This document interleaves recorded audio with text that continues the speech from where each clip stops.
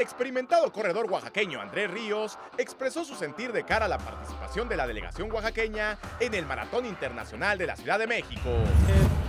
Es algo bonito, es algo padre que se haga este tipo de, de actividades como despedida de los atletas, de los maratonistas que van allá de alguna manera a medirse, a, este, a romper retos personales, que es finalmente yo creo el objetivo. Y por qué no también este, mencionarlo, ¿no? A lo mejor puede haber alguna sorpresa por ahí que alguien se sienta bien.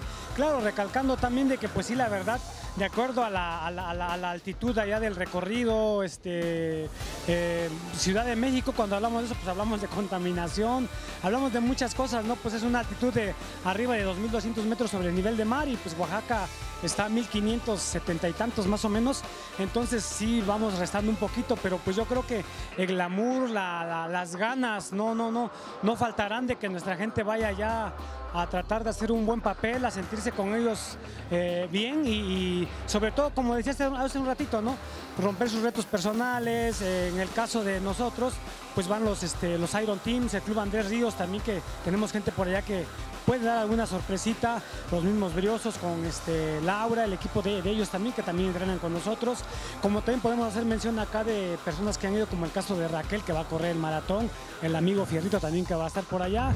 Después de agradecer a Rodolfo Rivas por su labor con la delegación oaxaqueña, nos dijo cómo se han preparado y del número de oaxaqueños que estarán viajando. Pues hay una preparación que se hace más o menos, vamos a hablar del maratón tres meses, ¿no? En un alto rendimiento estaremos hablando de, no sé, 2.800 kilómetros de preparación eh, en esa parte.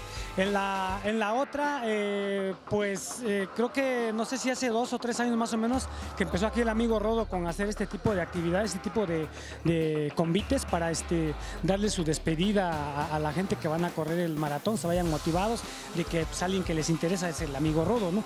Y por el otro lado, yo creo que más o menos sin temor a equivocarme y haciendo un cálculo no muy este, vago por ahí.